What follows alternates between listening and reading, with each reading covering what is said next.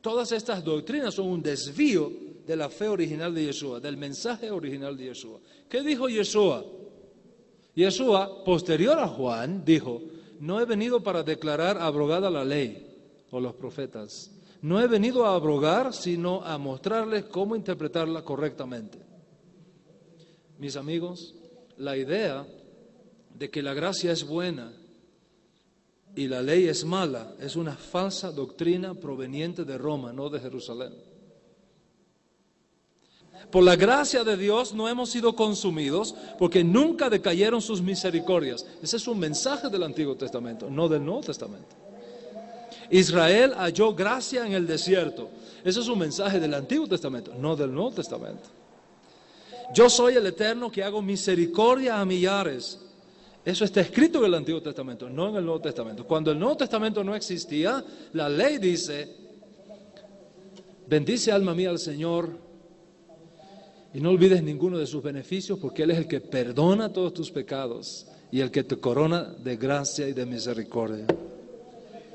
Entonces, ¿cómo puede un teólogo venir a decirme a mí, un judío, que no hay gracia en el Antiguo Testamento? Que es en el Nuevo Testamento que surge la gracia. Basado en este texto de que la ley y los profetas eran hasta Juan, que es un error gravísimo de traducción, porque eso no es lo que dice el texto. Entonces, ¿dónde está la herejía?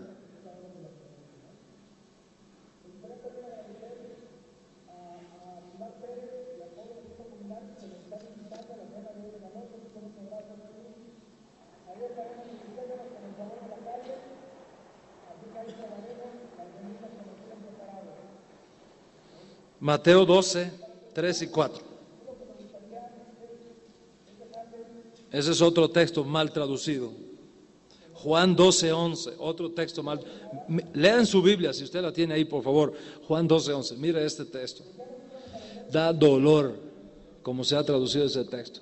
El daño que ha hecho ese texto.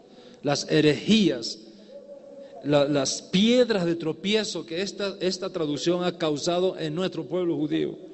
Una de las razones por las cuales los judíos no aceptan el Nuevo Testamento es este texto, precisamente.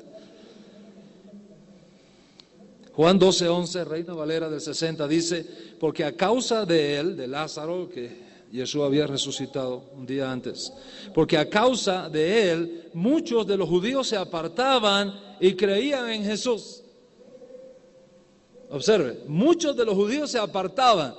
¿Cuál es el mensaje sublimal al pueblo judío? Que todo judío que reconoce que Jesús es el Mesías se aparta del judaísmo, se aparta del pueblo judío. Entonces, ¿cómo puede ser el Mesías?